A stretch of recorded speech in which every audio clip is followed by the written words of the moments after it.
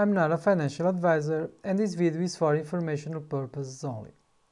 Carlos here and in today's video I'll be introducing an esports company that can become a multi-bagger in the next 12 months, so stay tuned. Before I move on, just make sure to subscribe the channel and hit the notification bell. And please smash the like button also for YouTube algorithm. The company is ESE Entertainment Inc., ticker ENTEF. ESE Entertainment is a Europe-based esports organization with physical and digital assets across the globe. The company's portfolio is diversified with valuable resources including venues, media infrastructure and international distribution partners. Esports sector is growing very fast and ESE is taking all the right steps to ride this wave. The company plans to keep growing its revenues through aggressive focus on top-line sales and margin expansion and also M&A opportunities. Today, ESE Entertainment has announced third quarter 2021 financial results. The company reported revenue of 4.23 million for the three months ended July 31, 2021 versus the three months ended July 31, 2020 revenue of 0.14 million. Cash balance increased to 9.17 million and zero debt. In a recent investors livestream, CEO Konrad Wasiela shared that revenues have increased to 20 million plus run rate, which is a tenfold increase in 10 months. Konrad said this is just the beginning as his goal is building ESE into a billion dollar global esports enterprise.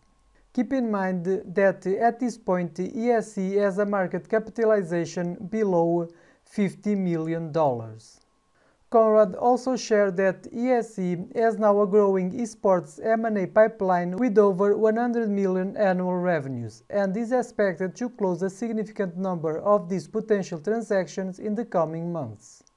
ESE just closed the acquisition of esports company Digital Motorsports, an Ireland-based provider of advanced simulation racing, sim racing infrastructure, technology and support. Sim racing is one of the hottest growth categories in the multi-billion dollar global esports market.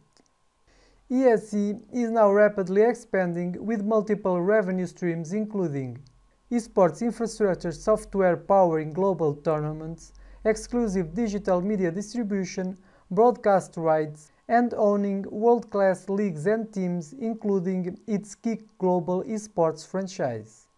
Another thing I like about the company is that share structure is very tight, with less than 60 million outstanding shares and 41.30% of shares held by insiders.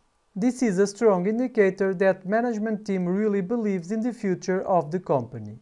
Share float is also very small, only 17 million. ESE Entertainment is still an under-the-radar gem, only 848 watchers on StockTwits. And in my opinion, when more and more investors notice the true value behind this company, stock price will fly. As always, keep in mind that I'm not a financial advisor and you should always do your own research before investing in any stock. Wish you the best and thanks for watching.